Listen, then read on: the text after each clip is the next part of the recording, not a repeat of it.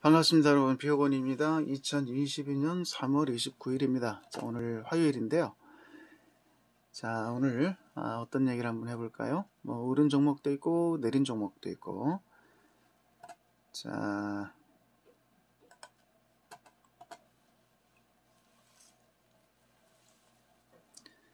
자, 엔비디아 그래픽 카드가 올해 똑 떨어졌다. 뭐 이런 얘기 나오면서 자, 예, 엔비디아.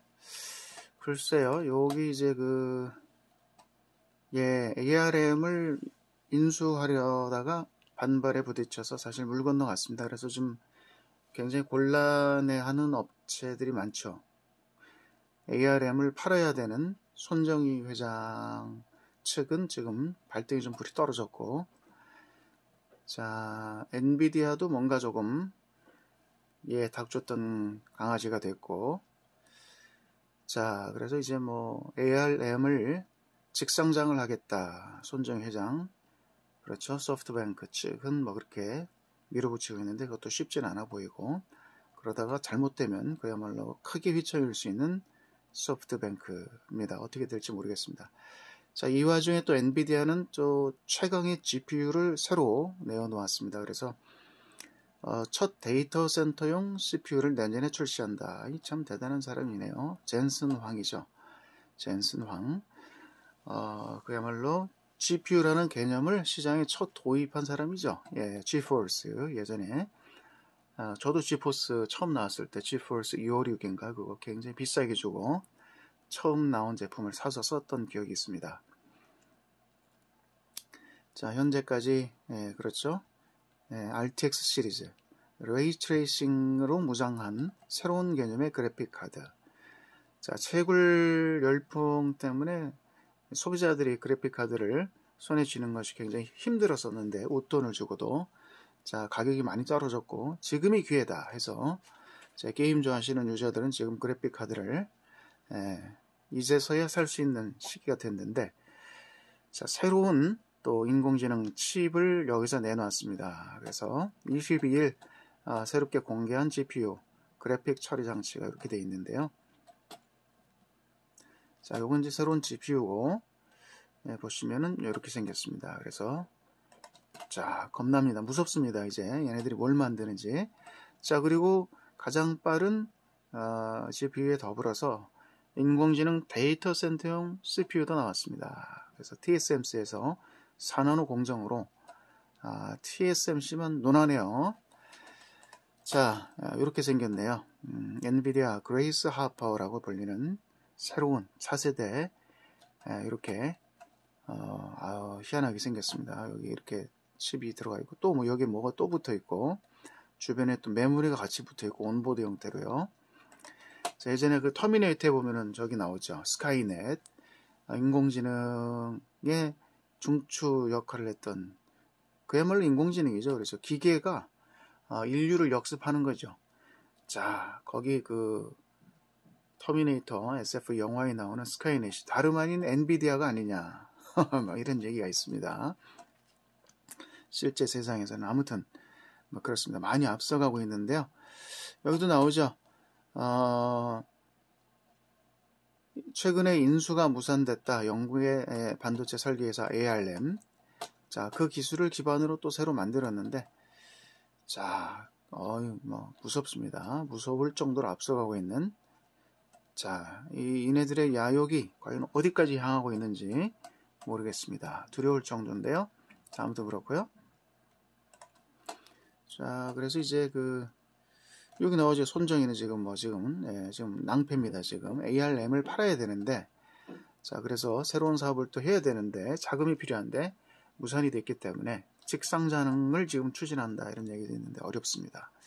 쉽지 않고요. 그래서 ARM이 인력을 최대 15% 정리하고 추진하고 있다. 그래서 자 1,000명, 1,000명 예, 정도의 예, 인원이 감원되는데 얘네들이라도 좀 데려와야 되는 거 아닌가 싶으네요. 뭐 예를 들면 한국의 삼성전자, SK, 뭐 그렇죠 이런 업체들이 기회죠.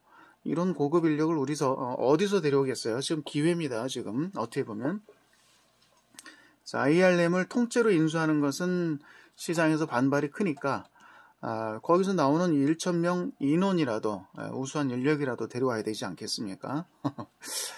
자 아무튼 그렇고요. 또 이런 얘기 나옵니다. 자, SK 스퀘어 박정호 대표이사인가요?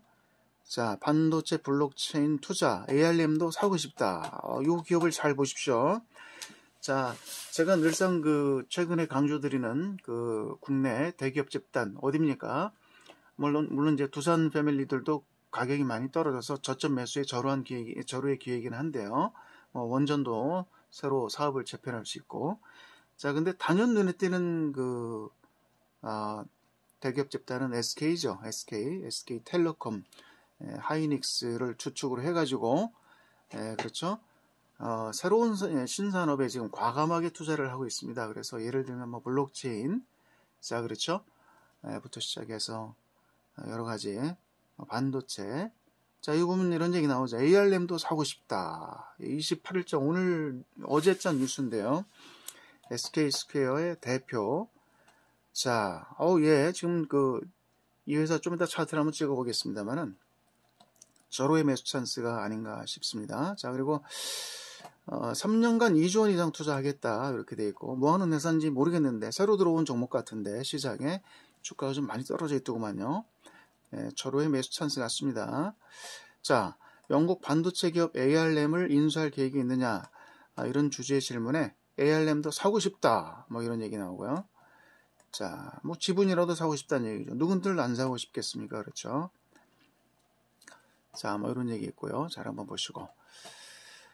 자, 그 다음에 이 반도체, 예, 반도체 쪽에 에, 예, 삼성전자 지금 고전을 면치 못하고 있는 것 같아요. 외면적으로는 그렇습니다. 그러나 이제 그, 어, 떻습니까 기존의 지금까지 해오던 사, 업은 뭐 잘 되고 있기 때문에, 그렇죠.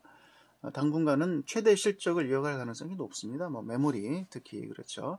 물론 이제 모바일 쪽 핸드폰 뭐 이런 쪽 스마트폰 쪽에서 조금 고전을 면치는 못하고 있습니다. 점유율을 많이 뺏길 것 같긴 합니다, 지금. 애플은 애플대로 뭐 계속 강화된 AP를 개발을 해서 많이 앞서가고 있고요. 자, 별로 결점이 없어요. 애플 생태계는 그렇죠. 예, 걔네들은 처음부터 다 가지고 있기 때문에 운영 체제부터 시작해서 뭐 칩, 그렇죠.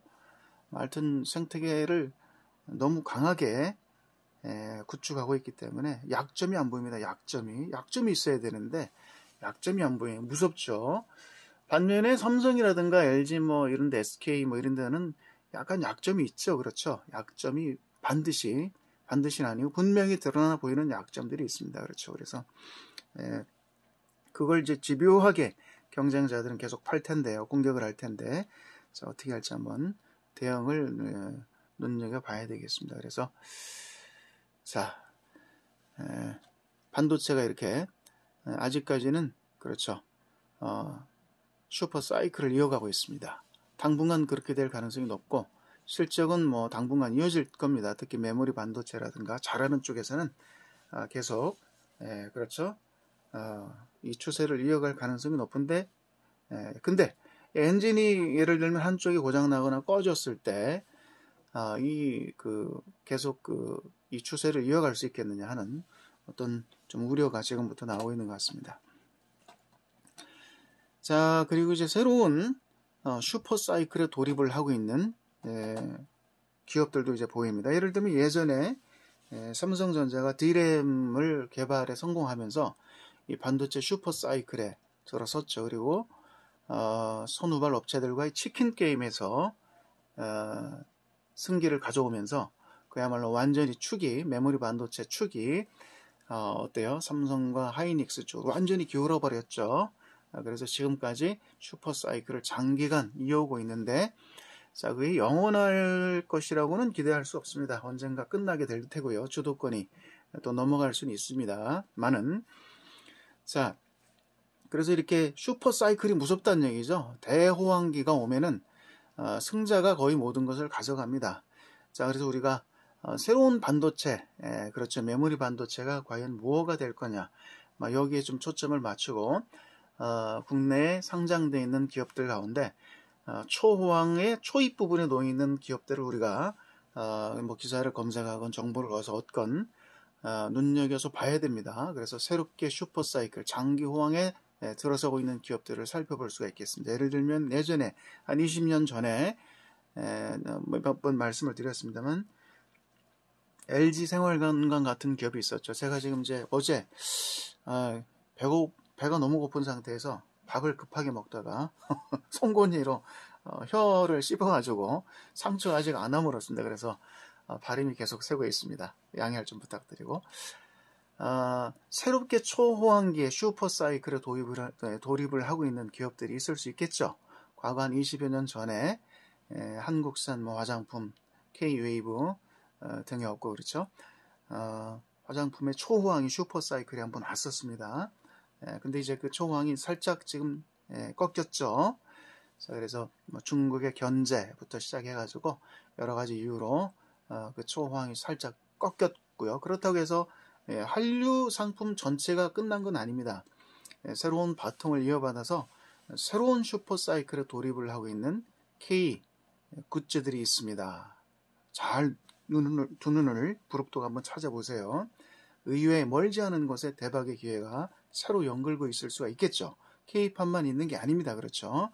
전 세계가 열광을 하고 있는 여러 가지가 있을 수 있겠습니다. 뭐 푸드, 먹거리도 있고 패션도 있고 그렇죠. 하여튼 뭐 사람이 살아가면서 먹고 마시고 의식주 모든 것이 다 관련이 되어 있습니다. 그래서 기회가 새롭게 열리고 있다 하는 것이죠. 자, 여기 이제 그 어제 뉴스에 보니까 아, 이런 뉴스가 하나 나옵니다. 마크로젠 얘기입니다. 다름 아닌. 자, 뭐 그렇다고 본 종목을 지금 사시라고 홍보하는 건 아닙니다. 어, 우리가 관심을 가지고 어, 지켜볼 필요가 있다는 얘기죠. 그리고 저 비오곤이 예, 한두 달여 전부터 마크로젠을 좀 눈여겨보시라. 어, 뭔가 좋은 어, 성장 궤도에 올라선 것 같다. 차트로도 좀 이따 차트 한번 찍어볼게요. 이렇게 말씀을 드리는 거죠. 그래서 어, 그 와중에 어, 저도 관심을 가지고 있는데 이런 얘기가 나왔어요. 머니투데이에서. 자, 마크로젠 유전체 분석 슈퍼 사이클 진입했다. 자, 매출과 이익이 동시에 올라간다. 그렇죠. 어, 직접 들어가 예, 찍어보면 나오겠죠. 수치로. 자, 그래서 한국, 일본, 스페인 점유율 1위. 자, 그렇죠. 어닝 서프라이즈 수년간 계속된다. 자, 이 기사를 우리가 물론 뭐 다 믿을 수도 있겠고 안 그럴 수도 있겠습니다만 자, 중요한 거는 수치로 증명되는 거는 이 기업이 현재 잘 나가고 있다는 얘기입니다. 그래서 어, 이제 진입을 했다는 단계죠. 그러면 주식을 어, 뭐 어떤 관점에서 봐야 될지 한번 연구를 해보시기 바랍니다. 자, 주가는 아직 많이 높지 않습니다. 자, 마크로젠의 실적 현황이 차트로 나옵니다. 이렇게 실적과 영업이익이 같이 동반 상승한다. 그리고 세계 유전체 분석 시장 규모. 아, 세계 시장에 비해서 아직은 매출액과 영업이익이 보살것 없다고 할 수 있겠습니다. 그렇죠. 보시다시피 그렇게 크진 않아요. 자, 그러나 어, 어때요? 어, 누가 압니까? 그렇죠. 자, 이런 쪽에서도 예, 코리아 프리미엄이 붙기 시작하면 얘기가 달라진다는 얘기죠. 매출액이 뒤에 0 하나씩만 더 붙으면 물론 큰 바람이긴 한데 그때부터 무시할 수 없어요. 자, 우리가 시젠이라든가 SD 예, 바이오 센서에서 우리가 봤죠. K 진단 키트들의 위력을 우리가 봤습니다. 자, 이런 쪽에서도 그런 일이 일어나지 말란 법이 없다는 얘기입니다. 그래서 마크로젠의 해외 거점들도 나오고요. 네, 이렇게 해서 한번 어, 기사를 우리가 간략하게 쭉 한번 봤고요. 그 다음에 아까 어, SK 스퀘어 이 회사도 한번 어, 그런 관점에서 한번 보십사 말씀을 드렸고 그러면 이제 차트를 오늘은 TradingView.com에서 몇 종목 한번 찍어볼게요. 자, 현재 그 TradingView.com에 이제 여러 관심 종목이 쭉 올라가 있는데, 아, 애플이 반등이 셉니다. 자, 보세요. 세계 황제주급, 예, 우량주들이죠. 자, 애플이 먼저 나옵니다. 여기서 반등이 150불에서 나왔는데, 지금 175불까지 그냥 쭉 치고 올라왔고요. 자, 애플만 있느냐? 아니죠. 테슬라도 있습니다. 테슬라도 760불에서 지금 1090불까지 그냥 직선으로 튀었습니다. 아, 역시 강합니다. 자, 구글도 마찬가지고요. 구글도 자, 2,500불에서 지금 2,800불까지 그냥 뛰었습니다. 자, 마이크로소프트도 마찬가지입니다. 자, 270불 중반에서 310불을 넘어서 강하게 뛰어 올라 있습니다. 자, 뭐 그렇죠. 뭐 응? 금도 이렇게 뭐 많이 올랐다 지금 밀려 있고 실버도 좀 올랐다가 살짝 숙이고 자, 오일도 반면에 조금 많이 올랐다가 에, 한번 추락을 했고 다시 반등했다 조금 밀려 있습니다. 어떻게 될지 모르겠고요. 뭐 반면에 또 비트코인도 이런 그 디지털 자산도 에, 저점을 찍고 올라오고 있고요. 자, 다우존스, 나스닥, 예, 굉장히 강합니다. S&P 500까지요. 자, 반면에 코스닥은 예, 코스피와 코스닥은 조금 반등폭이 약하죠. 예, 특히 코스피는 좀 반등이 좀 예, 별로 없습니다. 그렇죠. 100포인트 조금 넘는 반등. 자, 코스닥도 예, 뭐 그렇게 반등폭이 크지는 않은데 코스닥은 조금 많이 더 코스피보단 체감상 올라온 것 같습니다. 자, 현재 시장에서 어, 굉장히 미인주로 취급받고 있는 종목들 보시죠. 예, 먼저 자, 현대사료. 지금은 지금 뭐 어, 이런 거는 우리가 뭐 잡을 수는 없어요. 그렇죠. 점상으로 가는데 무슨 수로 잡나요? 자, 그러나 예측을 하시고 좀 대응을 하셔가지고 중간에 잡으신 분들은 참 좋으시겠습니다. 자, 사류주들이 이상급 등을 하고 있는데, 자, 어디까지 이어질지는 모르겠어요. 그냥 뭐 차트 감상하시라고 하나 먼저 올려드리고, 자, 그리고 뭐 로보로보 이런 종목들 굉장히 멋지고 일봉입니다. 자, 매커스, 오, 굉장하죠, 지금요. 매커스, 매커스도 좋고요. 예, 마크로젠 좀 더 찍어보고요. 심텍, 심텍 지금 계단식으로 차트 계속 올라갑니다. 자, 그리고 최근에 어, 계속해서 강조를 드리고 있는 RS 오토메이션 고점이 저 위에 있는데 29,000원, 3만원에 있는데 지금 2만원 찍었네요, 오늘요. 그래서 2만원까지 올라와 있습니다. 그래서 일봉이 지금 보면은 상당히 이제 시작하죠. 짝대기가 쭉 여기서부터 15,000원부터 2만원까지 길게 그어지고 있습니다.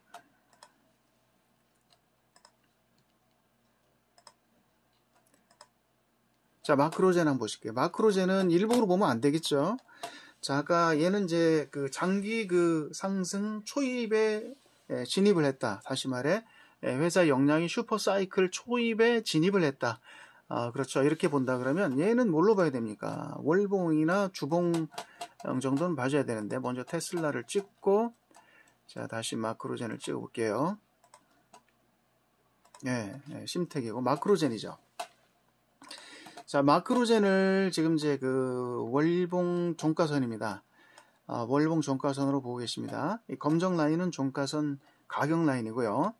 자, 굉장히 지금 중요한 게 지금 이 그 TradingView.com에서 보이고 있는데 이 주황색 라인이죠. 요거 요거요. 이게 뭐냐면 에, trend line이에요. 어, 저기 그 어, 뭐죠?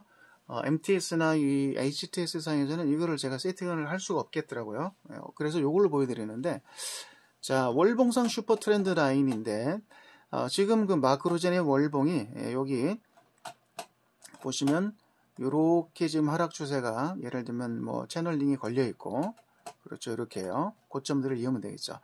그리고 중요한 게 지금 저점의 라인들인데 저점의 라인들은 이제 딱 보시기에도 에, 일정한 라인을 형성을 하고 있어요. 이렇게 되겠는데 뭐 이렇게 봐도 되고 또 수평선 라인을 여기서부터 어, 이렇게 그어주고 있죠. 바닥 라인이. 그래서 이 라인이 뭐냐 하는 얘기죠. 그 라인이 다름 아닌 어, 어떻습니까? 저 저기죠. 예, 트렌드 라인의 예, 하단 슈퍼 트렌드 라인, 상승 트렌드 라인의 최, 채널인데 물론 뭐 고점이 좀 이렇게 낮아지니까 좀 볼썽사납긴 한데 근데 아이러니하게도 어, 회사는 사실상 뭐 최대 매출과 영업이익을 이어가고 있습니다. 시작을 하고 있는 단계죠. 어떻게 보면 안정적인 또 폭발적인 신장을 눈에 눈앞에 둔 그런 시점 같아요. 물론 이 추세가 어, 향후 5, 6년 이렇게 쭉 이어져야 되는데 그렇게 될지는 모르겠습니다. 과거의 LG 생활 건강처럼 어, 그렇죠. 어, 신장세가 폭발적으로 어, 10년, 20년 이어졌는데 막 그게 그렇게 이어질지는 모르겠는데 에, 근데 에, 중요한 건 현재까지 보이는 지표는 어떻습니까? 좋다는 얘기죠. 예후가 좋다. 에, 매출액과 영업이익이 동시 예, 폭증하고 있다. 아, 근데 주가는 지금 보시다시피 어, 높지 않다는 얘기죠. 아, 오히려 굉장히 싼 자리가 아니냐. 예, 이 트렌드 라인상 하단 부분에 예, 이렇게 걸쳐 있습니다. 이건 정확하게 뜨죠. 여기도 뭐 거의 정확하게 뜨고요. 자, 조금 높아졌습니다. 지금은. 그래서 뭐 어, 월봉으로 봤을 적에 굉장히 어, 좋은 그림을 그려주는 그런 단계가 아닌가 이렇게 생각돼서 마크로젠을 이렇게 한번 샘플링으로 주 종목을 한번 찍어서 설명을 드려봤습니다. 뭐 판단은 각자 알아서 하십시오. 이거 사실아 마시라 제가 관여할 바는 아니고요. 자, 그다음에 예, 메커스. 아우, 예, 뭐. 예, 월봉이 끝내주죠. 여기 보세요. 어차피 갈 종목이죠, 여러분요.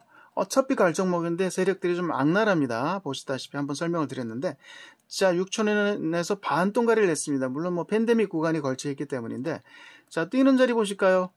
월봉으로 봤더니 여기서 어디입니까? 요번에도 어, 하락, 하락이 마무리되고 급반등이 나오는 구간은요.